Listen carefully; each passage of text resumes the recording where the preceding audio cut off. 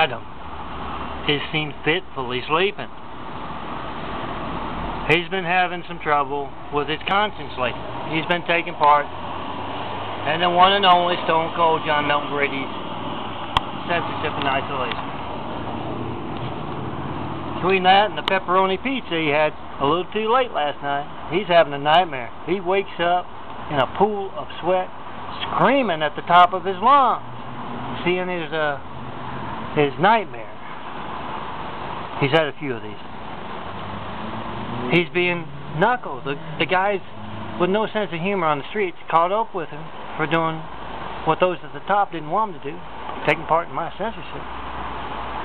And they've been knuckling him, and they just cut off another knuckle, and he wakes himself up. He wakes, wakes up his wife, Eve, and she kind of shakes him, uh, and he kind of sits up in bed,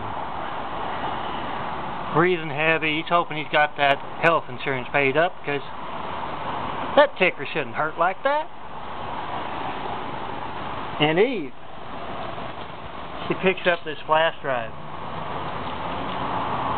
from uh, next to the bed. And she says, honey, what'd you think about those videos we watched last night?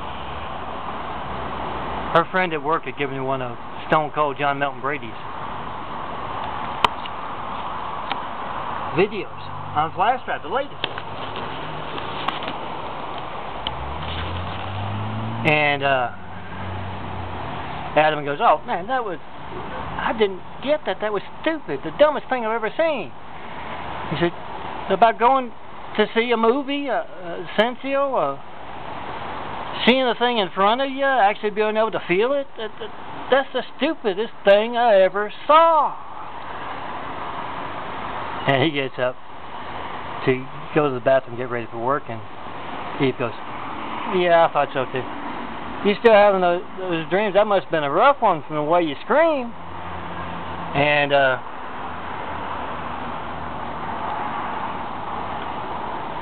Adam goes, Oh, yeah, it sure was.